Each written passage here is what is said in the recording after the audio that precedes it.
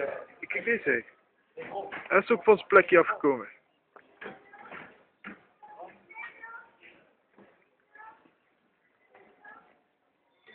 En de uil?